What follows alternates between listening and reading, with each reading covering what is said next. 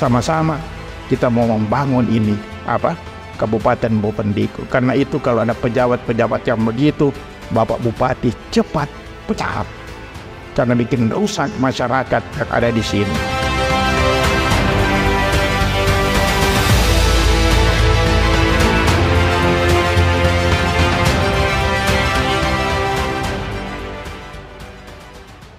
Kalau Anda berbuat baik, orang tidak tanyakan apa agamamu. Ini juga pengalaman saya ketika berjuang menyelesaikan konflik di Maluku. Umat Katolik di Maluku sangat sedikit dibandingkan dengan umat Protestan dan umat Muslim. Tapi ketika saya berjuang untuk menyelesaikan konflik Maluku, berjuang di segala lini membela kemanusiaan tidak peduli agama apa pun bangsa mana pun ras mana pun berjuang membela kemanusiaan saya merasa orang sungguh hormat. Ketika saya bertemu dengan Presiden Gus Dur di Jakarta, saya katakan, Bapak, saya mencintai Anda. Bukan karena Bapak Presiden dan Muslim. Bukan.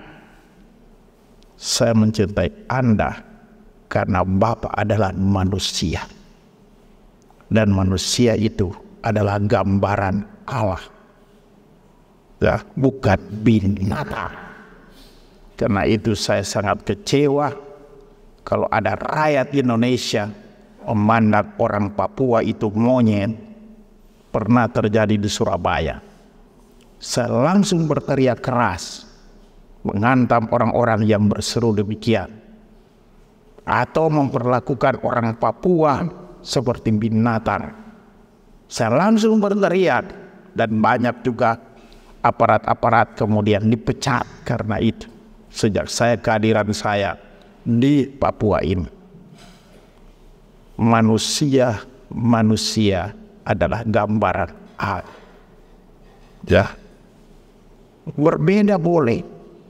Berbeda boleh. Saya ini orang Manado. Ya, sama dengan wakil bupati. Tuh kelihatan muka panggil, muka papan ya. Pasti babi terus menerus ya. ya. Saya orang Manado. Dan saya jadi Kristen Katolik. Tapi kalau saya lahir di Aceh, pasti saya Muslim. Kalau mungkin saya lahir di Bali, pasti sama dengan Kapolres. Tapi saya lahir di Manado. Enggak ada. Ya. Mama papa saya Kristen, Katolik, jadi Katolik. Oke. Saya beragama Kristen Katolik. Tapi bukan berarti saya merendahkan kelompok agama lain. Orang beragama lain. Tidak bisa, ya. Dan ini saya akan bela sekuat-kuatnya uh, ketika saya masih menjabat sebagai uskup.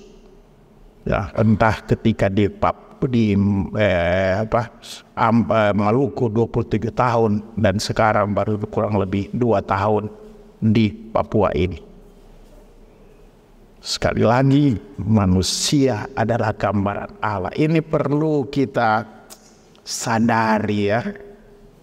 Ya, sadari ini. Jangan kita sombong dengan jabatan kita. Misalnya saya uskup, sombong dengan jabatan saya sebagai uskup. Dan saya ini sekarang uskup agung. Baiklah Anda ketahui, ya umat Katolik terbesar di Papua ada di provinsi Papua Selatan. Ada di provinsi Papua Selatan. Dan Bovendigul salah satu bagian dari provinsi Papua Selatan. Di sini juga umat Katolik adalah terbesar. Karena itu, oleh Vatikan, Merauke dijadikan keuskupan agung, keuskupan metropolitan. Walaupun kita lama bukan provinsi, hanya kabupaten saja. Tetapi tetap Merauke Papua Selatan adalah keuskupan mengkoordinir keuskupan-keuskupan di Papua. Timika, Manokwari Sorong, Jayapura, Asmat, dan Merauke. Ini sebenarnya satu kebanggaan dari orang-orang Katolik di Provinsi Papua Selatan dan masyarakat juga bahwa Vatikan menghargai daerah ini. Daerah ini. Kita boleh bangga karena itu. Jangan bikin malu. Ya jangan kita bikin malu. Ya. Misalnya terjadi konflik antar umat beragama. Saya ketika di Maluku saya malu juga. Ya, terjadi konflik antar umat beragama di sana dan saya berteriak-teriak ya khususnya saya memberi tantangan kepada orang Protestan dan orang Katolik. Bagaimana kita beragama Kristen? Percaya kepada Kristus. Kristus yang mengajarkan cinta kasih. Dan kita berkelahi. Kita menyusahkan orang muslim. Menjadi musuh orang muslim. Itu tidak benar Bukan saya membela orang muslim, tetapi saya mengatakan inti agama Kristen yakni cinta kasih. Bukan menghina agama lain. Tapi saya serukan juga kepada umat muslim. Saya tahu muslim adalah damai. Ya. Bukan berkelahi. Apabila Anda buat kekerasan, Anda bukan orang muslim. Saya bilang terang-terangan. Anda mau marah silahkan. Nah, karena itu ketika ada Idul Fitri di sana masih dalam keadaan ketegangan di kota Ambon, saya dengan jubah uskup, saya berkunjungi saudara-saudari saya umat muslim. Silahkan, Anda mau pukul saya, bunuh saya, silahkan. Tapi saya datang sebagai saudara, saudari Anda. Dan mereka terima. Mereka bahagia. Mereka hormati amor omnia vincit. Bahasa Latin, cinta mengalahkan segala-galanya. Dan mereka kalah. Bukan karena pedang, bukan karena ya, jabatan. Mereka kalah karena cinta kasih. Karena itu pejabat-pejabat di sini jangan sombong-sombong dengan jabatan eh. Baru kabar keuangan sudah sombong. Ya, saya dengar kabar keuangan sing sangat sombong. Ya, bertobatlah kabar itu. Ya, jangan. Ya, baru kabak sudah sombong. Ya, jangan-jangan karena tidak suka orang Katolik. Ya, saya terbuka saja bilang ya Pak Bupati, coba pilih pejabat-pejabat ya tidak fanatik ya, yang baik-baik karena itu nanti merusak Kabupaten Bovendigul ini. Kita tidak boleh sombong dengan jabatan kita. Kita manusia harus saling menghargai, ya, saling menghormati. Saya senang sekali pada kesempatan ini Bapak Bupati memberi kesempatan saya bicara di sini. Bukan karena saya pejabat tinggi, bukan. Karena saya manusia yang menghormati Anda sekalian. Menghormati Anda. Ya. Dan menolong Anda saya membuka diri kepada Kabupaten Bovendigul. Kalau saya bisa bantu untuk mengembangkan kabupaten ini, silahkan pakai uskup Mandagi. Silahkan pakai. Ya. Kapolres juga. Anda kalau mau naik pangkat, saya bantu juga. Saya lapor kepada Kapolres. Mau Kapolres ini baik. Tapi saya akan lapor kepada Kapolri kalau Kapolres ini rusak misalnya diskriminatif, misalnya ya sebagai nandi ya. Bukan karena agama. Ya saya kenal banyak pejabat tentara dan polisi. Mereka senang dengan saya. Bukan karena kita satu agama tidak.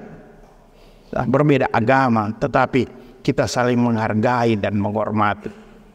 Termasuk Kapolda di sini Pangdam di sini apalagi dia orang Manado Isak Panggemanan tapi bukan karena dia Manado ya. Muka papat eh muka eh, tani seperti wakil bupati di sini ya.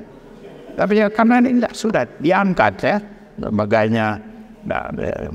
jadi saya suka membela Kabupaten Bufandigo Bapak Bupati silahkan kalau ada apa-apa yang perlu disampaikan kepada pejabat tinggi di Jakarta bilang sama saya.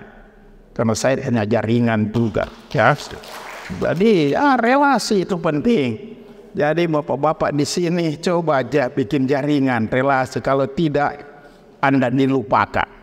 Nah, menjadi kabupaten terlupakan di dunia ini. Jadi harus bikin jaringan relasi di mana-mana ya.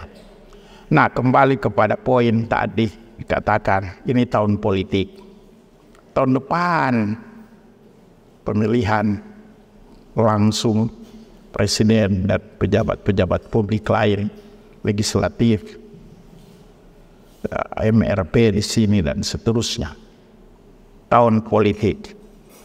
Dan kita senang sebenarnya sebagai warga negara Republik Indonesia bahwa terjadi pemilihan sekaligus supaya tidak buang-buang duit tiap dua tahun pemilihan, tiap tiga tahun pemilihan. Jadi kita hidup dari pemilihan ke pemilihan dan kita tidak bisa buat apa-apa karena cuma pemilihan-pemilihan terus. Tapi sekarang diputuskan ada pemilihan untuk semua mulai presiden dan jajaran-jajaran lain. Itu bagus. Cuma pemilihan biasa dikatakan pesta demokrasi. Pesta. Tapi kenyataan terjadi berkelahi. Ini saja di Merauke orang mulai berkelahi dengan saya. Pak Uskup kasih rekomendasi untuk MRP dan sebagainya. Kenapa saya tidak jadi? Eh, saya bilang rekomendasi bukan berarti pasti jadi. Kau punya otak kena jalan. Rekomendasi ya sudah kasih rekomendasi. Tapi yang memilih bukan saya. Syukur saya kasih rekomendasi. Nah, jadi jangan marah-marah kepada uskup. Nah, nah itulah orang-orang di dalam politik ya seolah-olah dia gila sekali jabatan, rakus jabatan, dengan segala cara mau jadi pejabat, mau terpilih. Kita lihat nanti tahun politik, ya. Seringkali saya heran, orang ini tidak pantas menjadi anggota DPR. Dan ini terjadi karena gila jabatan. Tetapi mengapa gila jabatan? Karena di belakang jabatan ada uang. Nah, ini yang jadi masalah. Jabatan sebenarnya untuk pelayanan, tetapi jabatan untuk jalan memperkaya diri. Ini yang terjadi di negara kita. Saya ada TikTok, lihat di TikTok. Saya berbicara, banyak orang suka TikTok itu. Saya heran, bukan saya yang buat, maaf ya. Saya bukan memamerkan diri, tapi kurang ajar ini apa Komsos Keuskupan Merauke. Tapi ya sudah mereka juga tidak apa-apa. Bukan kurang ajar sedikit kurang ajar saja dan sewagatmu akhirnya TikTok itu jadi laku. Dalam TikTok itu saya bicara apa? Jabatan oke. Okay. oke. Okay.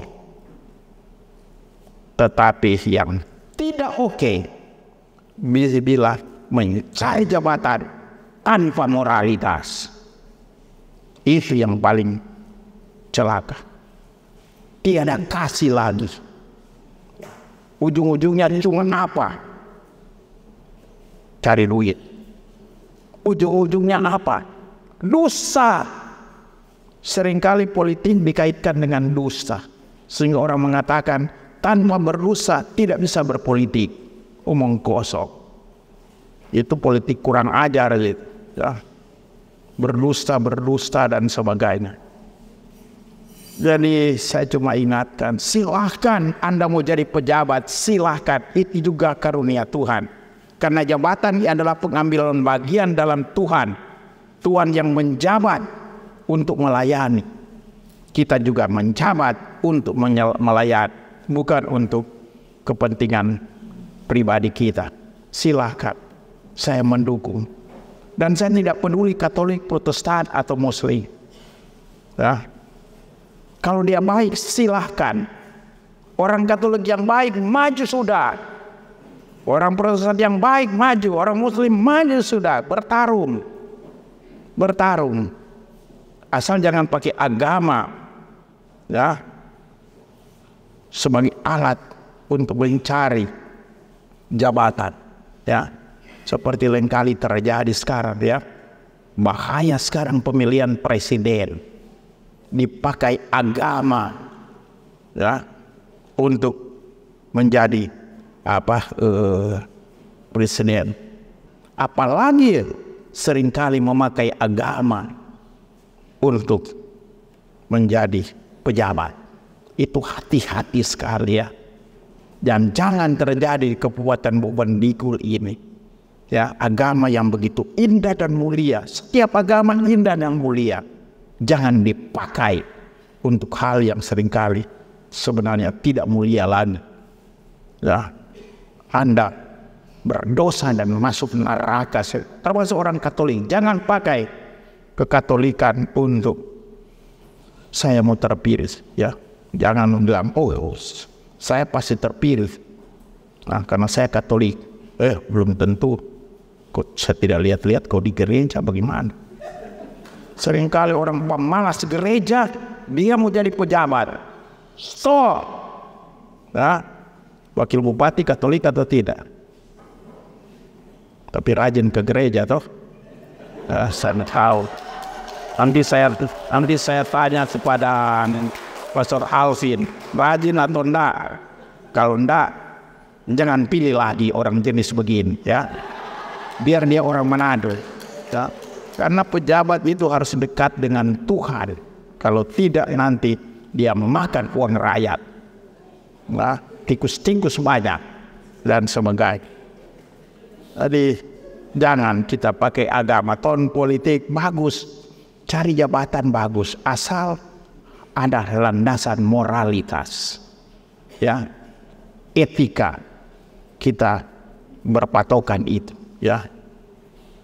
Dan selanjutnya juga saya bicara sedikit asal jangan tahu lama mengenai perdamaian. Kita harus jaga perdamaian. Harga mahal itu perdamaian. Lihat saja di Rusia dan Ukraina berkelahi terus. Yang korban adalah rakyat. Putin enak-enak Zelensky enak-enak barangkali. Tapi rakyat, gedung-gedung dihancurkan. Mereka harus jadi pengungsi. Kasihan, habis. Pengkep, apa yang diperkembangkan bertahun-tahun hancur. Jangan terjadi di sini. Jangan. Kami sudah alami di Ambon. Kami sudah alami di Ambon Nah, berkelahi, berkelahi. Anak-anak tidak terdidik di pengungsian terus. Dan yang enak adalah pejabat-pejabat. Pejabat-pejabat tetap enak. Dapat gaji terus. Saya pernah bilang di hadapan Presiden Megawati ketika kunjungin di Ambon. Saya bilang, Ibu Presiden, cepat selesaikan kasus Maluku. Nah, ketika ada masalah, baiklah Ibu Presiden tahu, yang dicari tokoh-tokoh agama, termasuk uskup mandani, tapi tidak dapat gaji. Yang dapat gaji siapa? Pangdap, ada di belakang mereka, Pangdap, Kapolda, Jaksa, dan sebagainya. Dan kalau semua orang Maluku mati, maka tiada preman lagi orang Maluku. Karena Maluku banyak preman juga ya kecuali Maluku di sini ya. Tidak ada penyanyi lagi, yang tinggal cuma dua orang. Pas pejabat gubernur waktu itu Sarundayan dan Mandan, cuma dua orang Manado yang tinggal. Kasihan orang Maluku mati semua. Dia tertahu nah, tertawa tapi ya bertobat juga ya selesaikan ini Maluku kasihan ya semua mau mati padahal cuma karena ya persaingan persaingan. Ini persaingan politik. Nah ini juga bahaya orang selalu tanya ketika di Maluku Bapak Uskup apa akar dari permasalahan di Maluku? Apakah karena agama? Bukan. Persoalannya adalah politik kekuasaan. Cuma supaya terjadi Ya. Kalau orang Katolik dia paling besar kasih kasih jabatan sedikit pada orang Katolik. Jangan disikirkan secara total. Ya. Kasih sedikit ya. Kalau tidak nanti bahaya. Adil saja. Tapi jangan semua orang Katolik. Kurang ajar juga orang Katolik. Yang mau minta semua. Tapi jangan disingkirkan. Jadi jangan ada satu agama merasa diri. Ah kami yang paling hebat. Protestan paling hebat, walaupun kecil di sini. Tidak, jangan. Ya, sama-sama kita mau membangun ini apa? Kabupaten Bopendiku. Karena itu kalau ada pejabat-pejabat yang begitu, Bapak Bupati cepat pecat. Karena bikin rusak masyarakat yang ada di sini. Ini yang ingin saya sampaikan.